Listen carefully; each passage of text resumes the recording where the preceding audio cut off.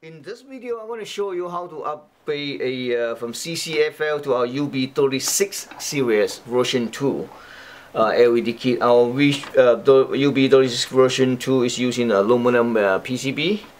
Um, this kit comes with two LED strips, one LED driver, and couple of aluminum foil. This is uh, the models, um, the brand is made by Elotouch. The model is ET15225L. Again, ET1525L. Um, so let's set aside a uh, the LED key for a second. Um, this video, I'm going to show you how to take out this uh, actually the bezels. Um, you can use a really small uh, fret screwdriver, or I use this too. Okay, so basically, uh, you have to open up this so what I do is I'm going to lean this way because this is a little bit heavier. So I'm going to take the front end out. Okay, so you just do it like this. One side at a time. Okay, well, see which angle you see better. One side at a time. Okay, this one. I'm sorry, I show you the wrong side. I should say lean it this way. So just slice in. See this? Okay one side at a time.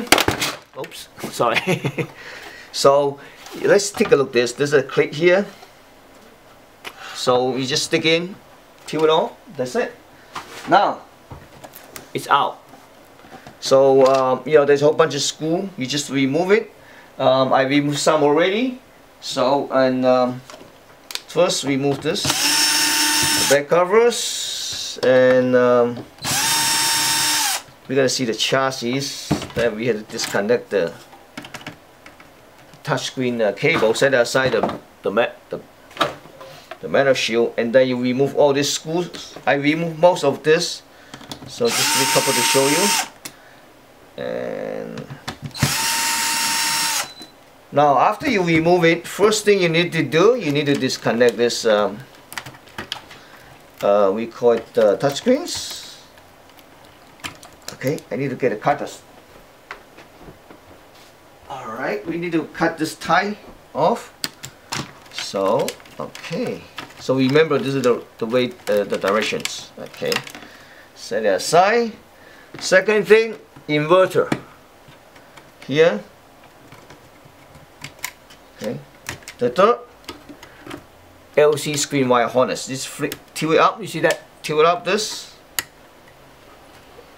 that take it out. And remove this wire. I mean that wire I mean the tapes. Just alright. Now you try to lift it up. There we go. Okay. So now we're gonna set aside the touchscreen for a minute. And then let's take a look the screen here. Alright you see there's a screws holding the screen so there's a couple screws I removed some already so just to save time in the video. Alright. So on the other side we already removed the wire harness inverter so basically we can just take it out like this. Oops. Alright so this is the chassis. Alright let's set aside chassis for a minute. Um, we're gonna take a look at the screens here Alright.